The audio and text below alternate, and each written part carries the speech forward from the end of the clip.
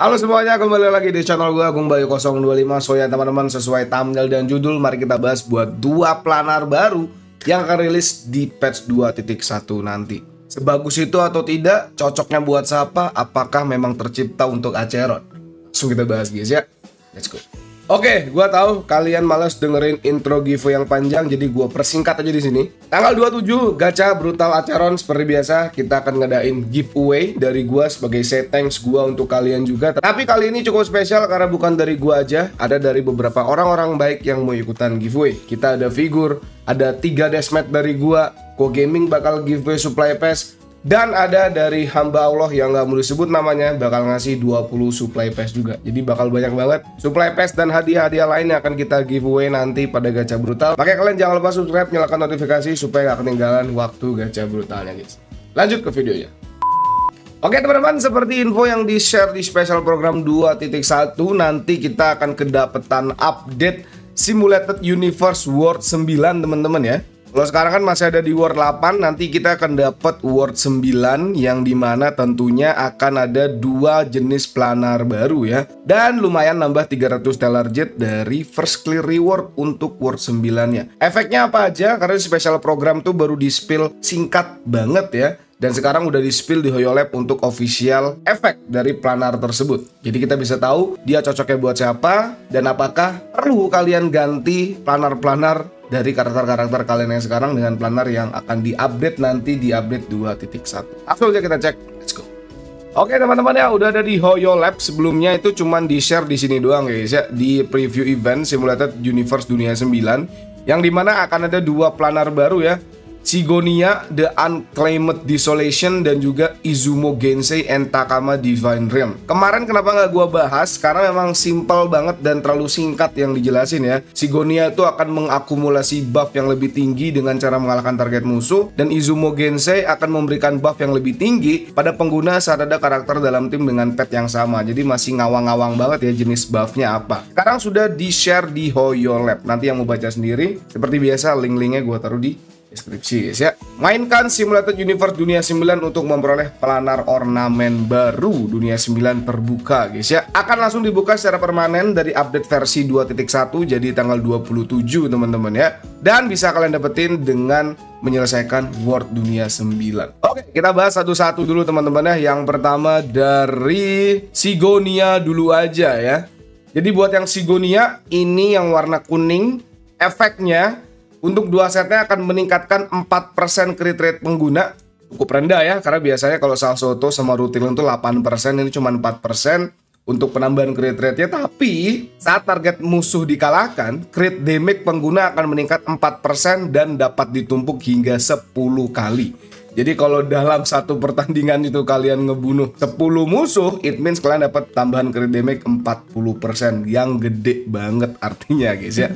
Tapi jujur aja nih harus dites teman-teman apakah ada resetnya ketika nyentuh 10 kali bakal reset satu lagi atau gimana atau setelah nyentuh 10 sampai pertandingan atau pertarungannya selesai akan bertahan terus itu harus dites. Tapi kalau berdasarkan deskripsi ini It means kalian cuma nge-stack sampai 10 dan ya kalian dapat 40% penambahan crit damage tanpa berkurang sampai pertarungannya selesai.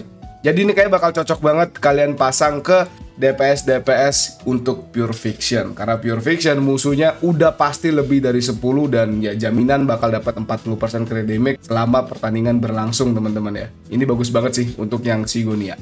Oke, masuk yang kedua guys ya, Izumo Gensei and Takama Divine Realm. Yang di mana ini sebenarnya udah pernah di-spill sama Brax teman-teman ya, Braxophone, YouTuber luar yang dapat early access Acheron dia juga nge-spill buat planar baru ini. Jadi di videonya dia dia masangin acaron dengan planar yang baru ini guys ya.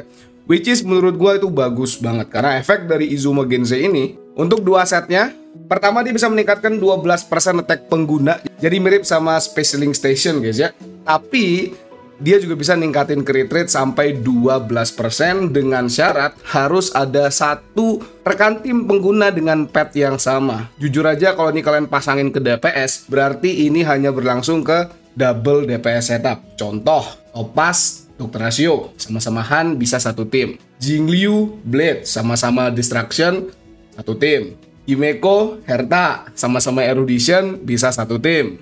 Acheron, Ini kasus spesial tidak harus double DPS setup karena Acheron itu punya trace yang di mana bisa ningkatin damage persennya dia kalau memiliki rekan tim dengan pet nihility juga dalam tim kalian. Jadi, otomatis untuk memaksimalkan trace tersebut, tim Acheron juga akan menggunakan debuffer atau pet nihility di tim. Otomatis untuk pengaktifan planarnya mudah teman-teman ya. Tidak harus double DPS setup. Kalau kalian pasangin sama si Acheron tinggal pasang satu nihility di buffer aja. Jadi itu dia teman-teman buat dua planar yang baru ya. Sigonia dan Izumo. Jujur aja buat Sigonia dan Izumo menurut gua dua-duanya sama-sama bagus. Ini bakal jadi opsi-opsi baru buat DPS-DPS kalian ya. Terutama buat Sigonia ini kayak bakal jadi game changer relic untuk Pure Fiction ya. Karena di Pure Fiction mengalahkan 10 musuh ngestek 10 kali biar dapat 40% crit damage menurut gue cukup mudah. Beda sama di MOC teman-teman ya. Dan juga buat Izumo Gensei ini ya pertama bakal jadi planar go to nya Acheron yang kedua bisa kalian pasangin ke beberapa double DPS setup. Mungkin yang paling bisa banget dipakai ya si either Himeko atau Hertanya teman-teman ya. Karena mereka juga pasti digabungin di Pure Fiction otomatis efeknya juga pasti jalan ya tapi Himeko Herta juga mainnya di Pure Fiction, otomatis bisa dipakai Zigonia juga. Jadi ya, cukup banyak lah ya opsi kalian dan ini bisa kalian dapetin atau kalian farming dalam satu kali run ya, karena mereka sama-sama di World 9. Jadi either dapat Zigonia atau dapat Izumo, menurut gua bisa dipasangin ke DPS kalian tergantung dengan kondisi dan tujuan penggunaan karakternya teman-teman ya. Bagus ini, planarnya bagus semua menurut gua nggak ada yang jelek. Zigonianya bagus, Izumonya bagus. Tinggal disesuaikan aja sama tim kalian mau dipakai ke yang mana. Tapi kalau harus ngeganti planar yang lama, gua rasa sih sulit guys ya. Karena gacha relik juga kebanyakan scamnya soalnya guys. Oke teman-teman jadi gitu aja videonya. Gimana menurut kalian buat dua planar baru Sigonia dan Izumo? Udah tahu mau gacha planar yang mana dan buat karakter siapa? Coba komen di bawah guys. Gitu aja videonya. Silahkan di like kalau suka Dislike kalau nggak suka. Dan sampai jumpa di video-video selanjutnya. Bye-bye